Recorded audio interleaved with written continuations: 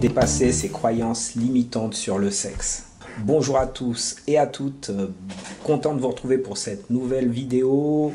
Je me présente Bertrand Barret, je suis sexothérapeute, gestalt praticien et coach spécialisé dans les relations intimes.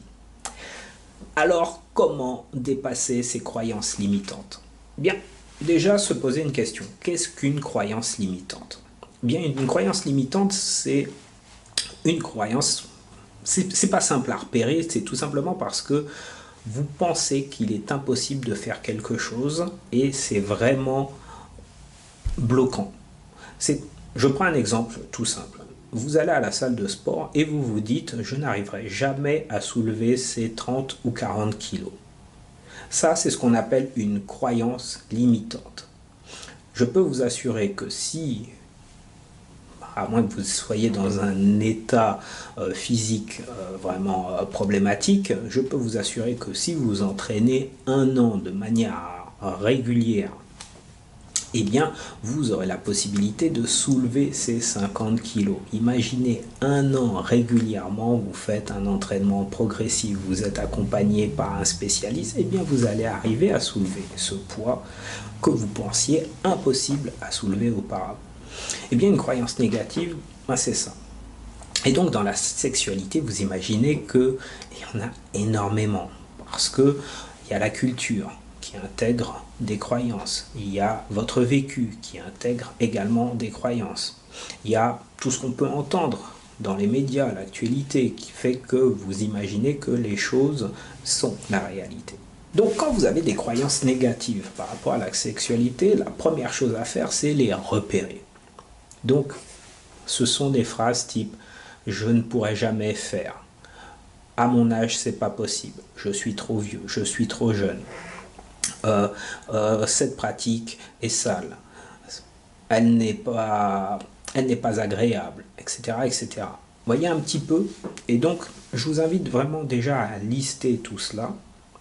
Bien souvent, ce sont des croyances négatives qui sont associées à des peurs. Donc, listez cela pour les repérer. Ensuite, il y a un petit. Ensuite, je vous invite à proposer une phrase contraire.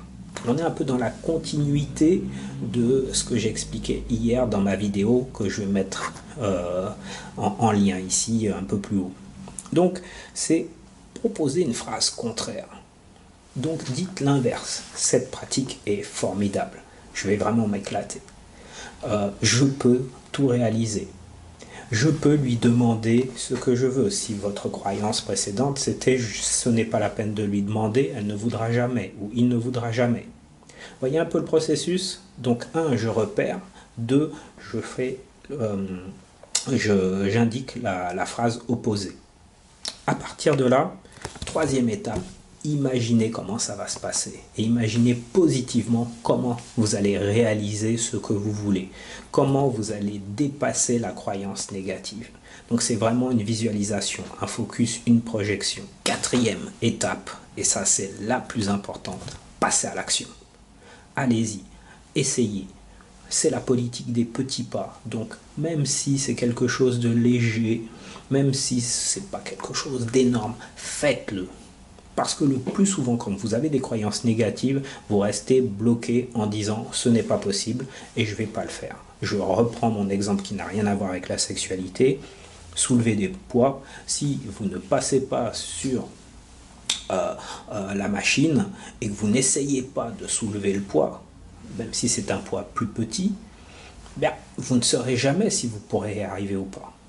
Et dans la sexualité, c'est pareil si vous ne demandez pas, si vous n'essayez pas quelque chose de nouveau, si vous, ne vous informez pas sur une pratique pour, pour en savoir un peu plus, eh bien rien n'avancera.